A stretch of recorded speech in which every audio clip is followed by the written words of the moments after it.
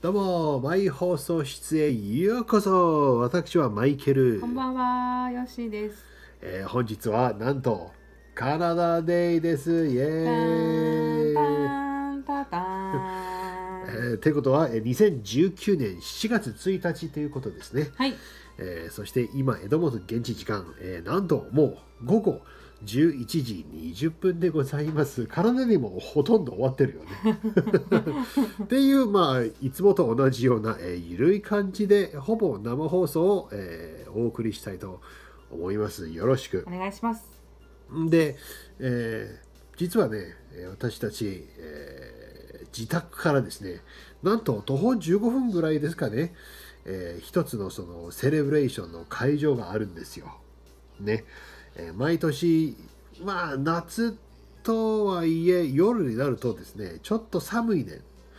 で、今年はまあ、あのまあ、体調ちょっと悪いという、まあ、言い訳も 大人って嫌だよね。いや俺ねごめんねほんま正直言うと体調がちょっと悪いよね私もあんまり良くないんだよね。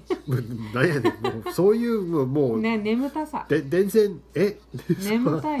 そそれ調子悪いというかこれ多いっていうよ私いつもやっぱこう。元気印のよしえちゃんは。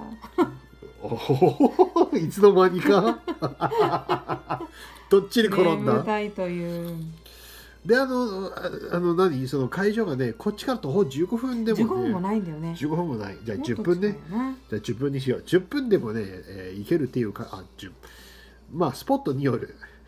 いいスポットやったら多分15分ぐらいかかると思うねんけれども、で、幸いにですね、えーなんとうちからですね、ギリギリな感じでね、えー花火ですね、えー見えると。ギリギリ見える。ギリギリ。半分以上見えないけど。じゃあちょっと一応、まあ、画像があります。はい、じゃあどうぞ。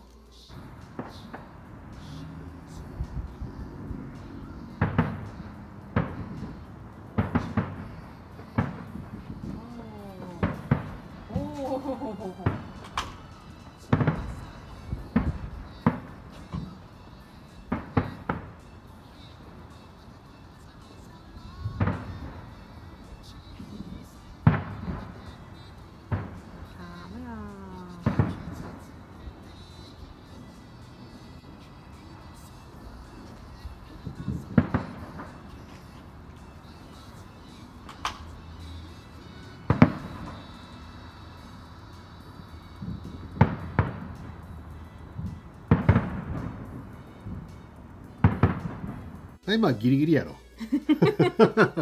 で、ところで今の画像がね、えー、午後11時ジャスト撮ったやつやな。で、まだあんな明るい感じなんやけどね。だから、もうこんな時間でもやるかっていうね。えー暗くならい。ないとそう、無理。やらできないからどうしてもこんな時間になっちゃうんだよね。ねで、いまあ、その向かい側の家の屋根がね、綺麗にね、あの舞台に、えーなって。で花火のもう上の3分の1ぐらいしか見えへんっていう。まあなんちゅう贅沢な。ね。でところでさっきのやつは、えー午後11時。その15分後の、えー映像もあります。はいこちらです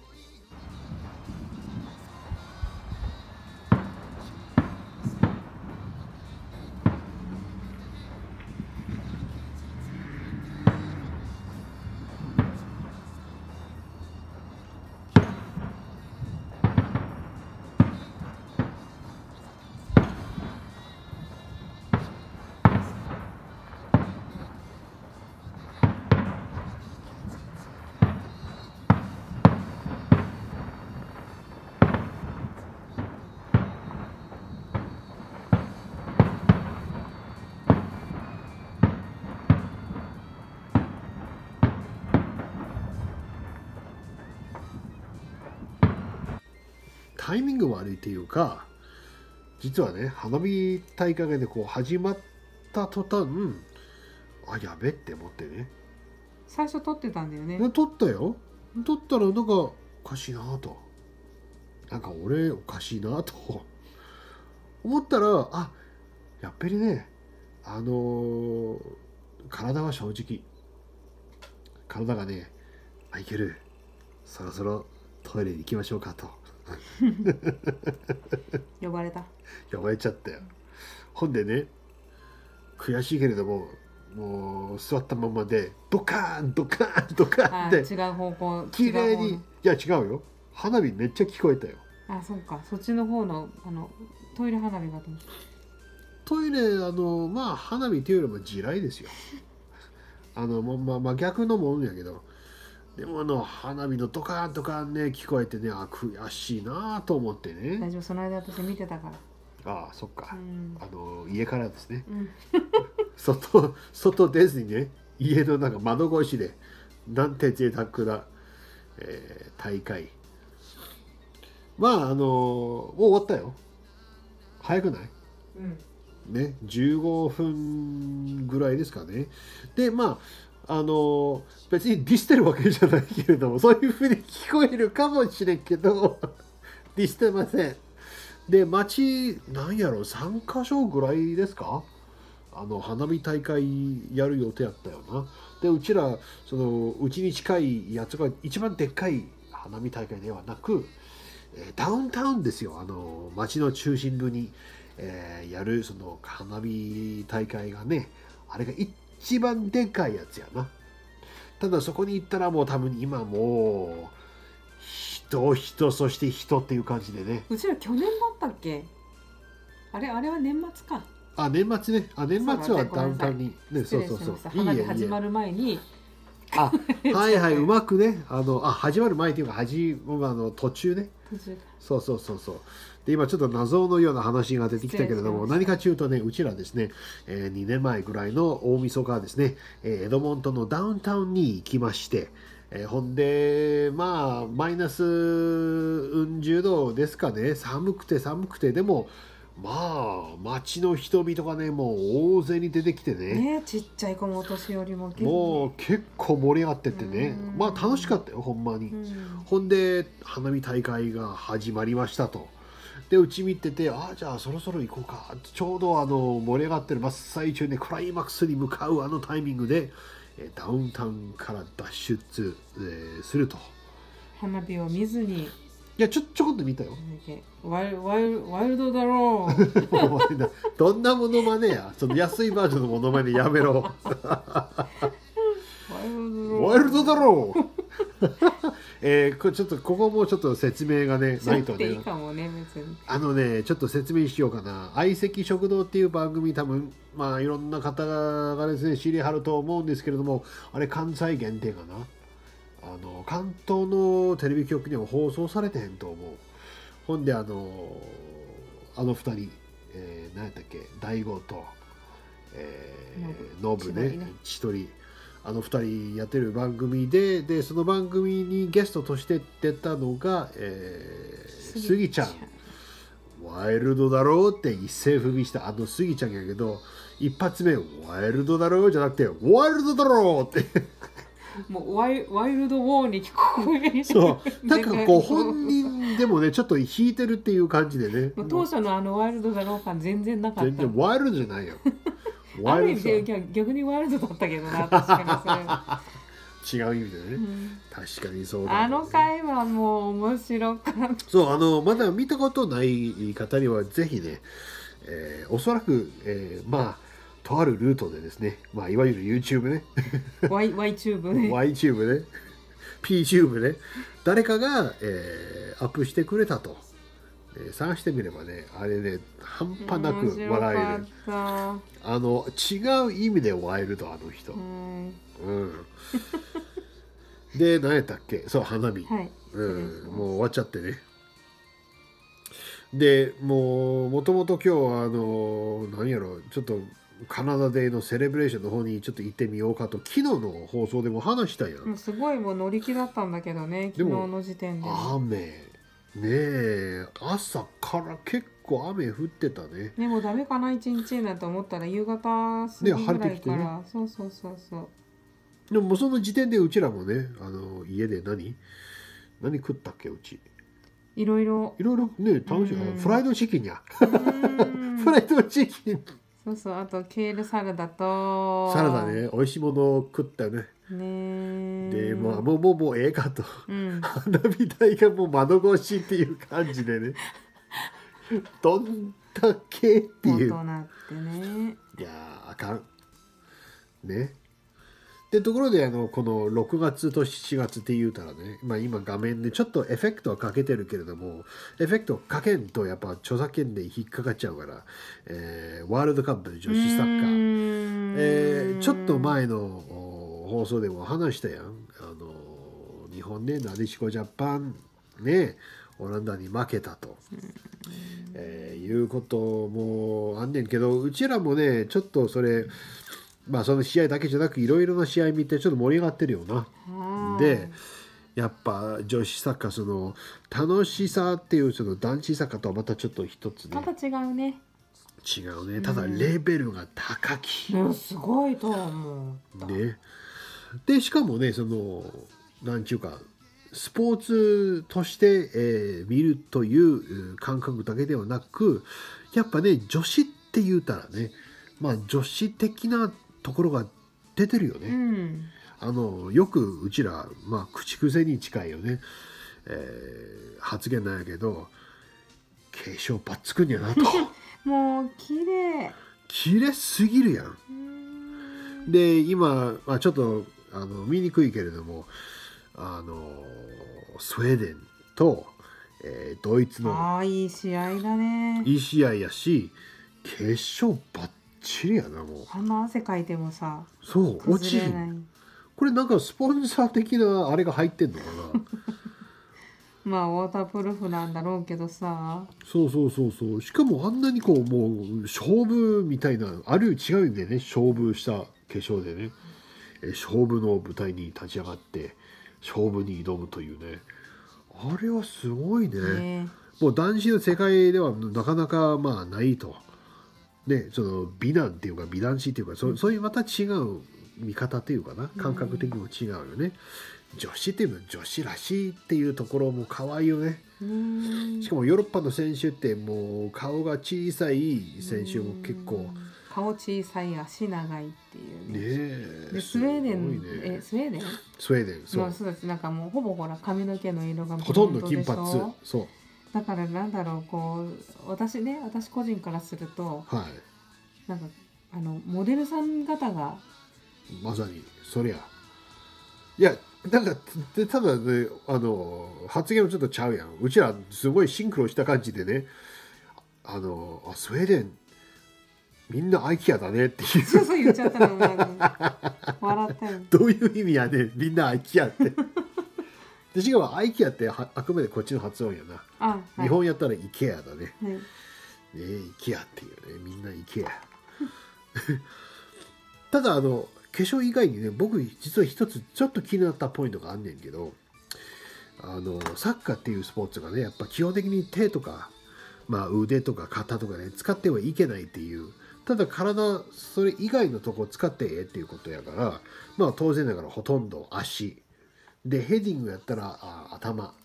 で、ボールをトラップするのにたとた,、まあ、たまにこう胸とかね、男子もあるやん。女子の方が痛くないかな。うん、ねえ鍛えてるんだろうないや、ぜいくらい鍛えても、あの、おっぱいに直撃って痛いやん。うんよし、ちょっパッションのやつややめてくれ。痛いね痛いやん。えでもマイケルで男の人だって痛いでしょ？いい痛くないよ。多分あ痛俺い、基本的に A カップやから俺痛くない。カップあるそう、A カップや。マイナス A や、俺。痛いっちゃ痛いよな。そうそうだでも試合中ってそうでもないんだろうね。しかもプロでしょ？プロとはいえな。もしかしたら胸と胸の間かな？その筋肉のとこ？わからんけれども。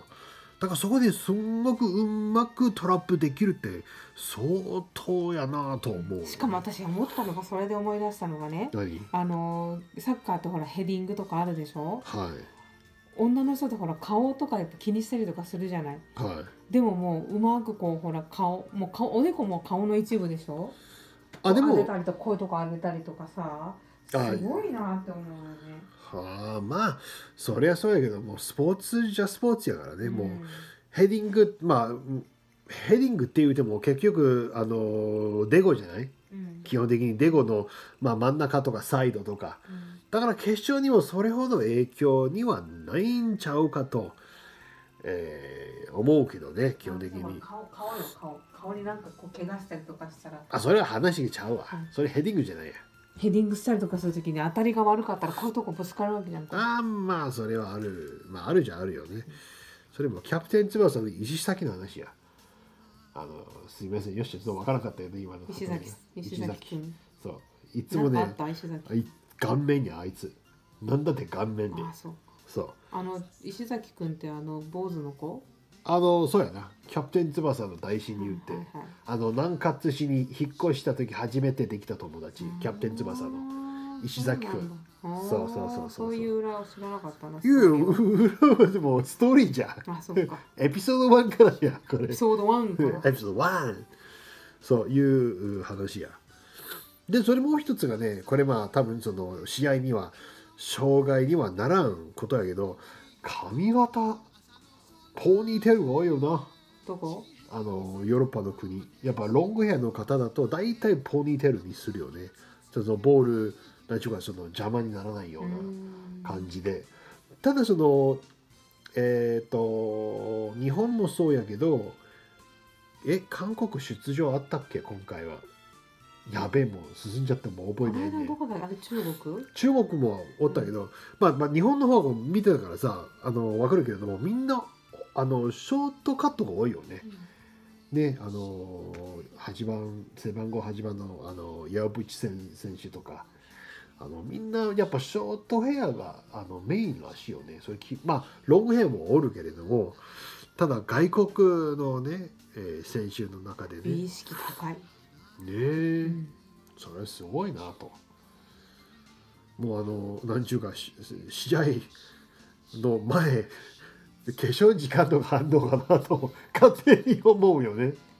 やってるでしょうね。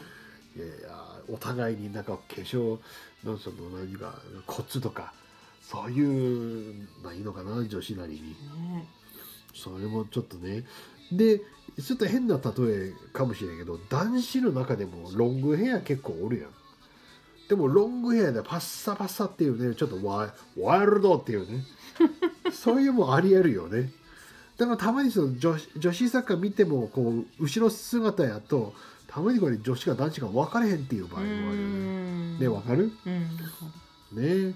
そういうところもちょっとまあ全く試合では関係ないところ。うん。ただあんまサッカーとか詳しいない人にとってはそういう楽しみもあるよね。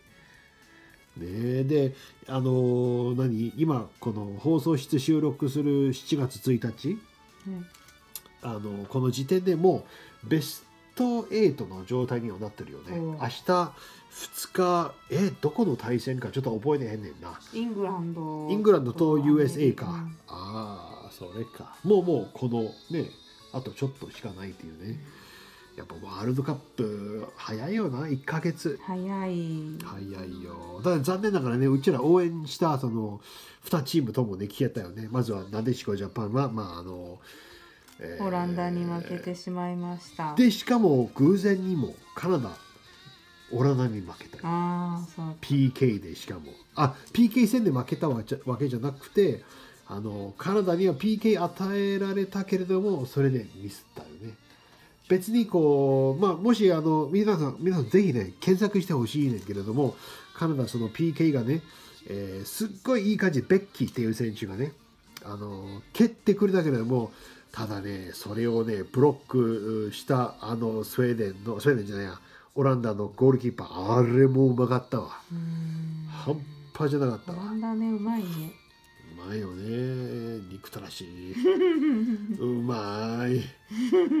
はあ。うちら好きな2チームともね消えてしまってね。ねしゃあないね。まあ日本の皆さんにとってはねですねあの多分その時差の関係でねあんま時間的によろしないね夜中とか、えーになってしまうけれどもねでもまあサッカーファンにとってはもうほんまねすごい大事な、えーうん試合じゃないかと思思いま。す。